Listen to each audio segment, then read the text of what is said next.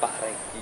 Senin siang, Sekolah Menengah Atas Selamat Pagi Indonesia yang terletak di Jalan Raya Pandan Rejo, Kecamatan Bumi Aji, Kota Batu, nampak sepi dan lenggang. Hanya beberapa orang yang nampak beraktivitas di luar gedung maupun asrama sekolah seluas 20 hektar ini.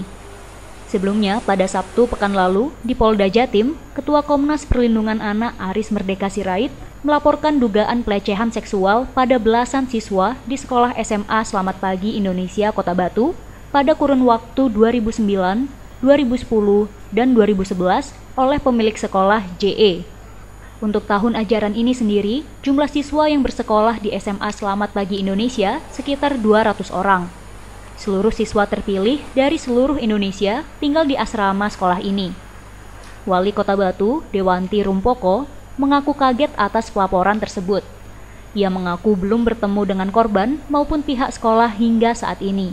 Kemarin kita kembali saya uh, ke Pak Sirait belum bisa nembus ke korban yang melapor juga belum boleh uh, bertemu karena masih dalam perlindungan ke sekolah Selamat Pagi Indonesia mungkin hari ini karena kemarin masih libur kemudian juga mereka masih dalam ada tugas ke luar kota sehingga sama sekali bisa.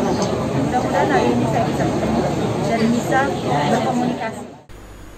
Terpisah kuasa hukum terlapor membantah tuduhan yang dilayangkan pada kliennya JE. Ada lima poin yang disampaikan, salah satunya pelapor dimintai menyertakan alat bukti yang sah sesuai pasal 184 ayat 1 KUHAP.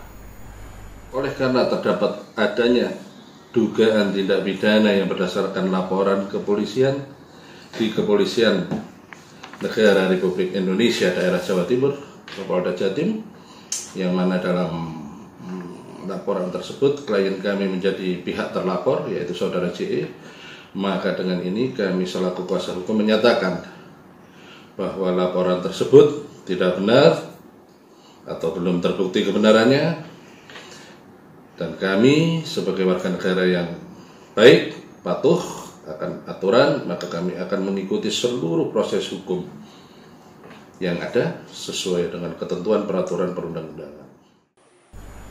Terbaru korban sendiri tengah menjalani visum di Polda Jatim, didampingi oleh Dinas Pemberdayaan Perempuan, Perlindungan Anak, Pengendalian Penduduk, dan Keluarga Berencana Kota Batu. Hilda Nusantara, Kompas TV Malang, Jawa Timur.